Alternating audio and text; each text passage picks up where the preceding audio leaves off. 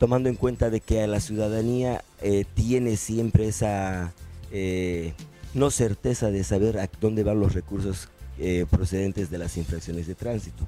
Y hemos presentado nosotros una, un, un, perfil de proyecto en el cual nosotros estamos diciendo esta es una de las alternativas que puede transparentar tránsito, que es la atención al ciudadano por infracciones de tránsito desde una ventanilla, al igual que en un banco donde tenga cámaras de vigilancia y al mismo tiempo tenemos que masificar lo que, es, lo que es la situación de las infracciones. Por si acaso, señor ciudadano, las infracciones, no, no existen infracciones acumuladas.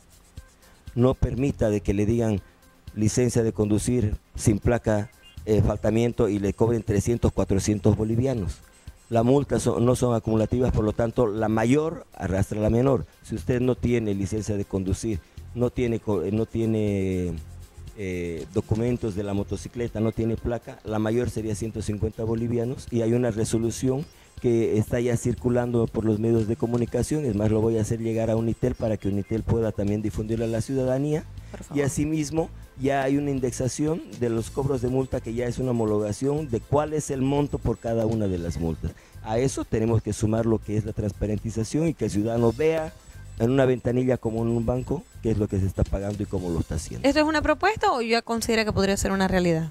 Yo pienso que con la voluntad de la policía puede ser una realidad. Es una propuesta por el momento. Solamente bastaría que digan sí porque no estamos pisando ninguna norma que diga que estamos yendo contra algún procedimiento policial. Es más, la norma establece claramente que el policía no tiene por qué recibir un solo centavo y es la dirección de recaudaciones que debe de recibir cualquier cobro por, por concepto de una infracción o multa.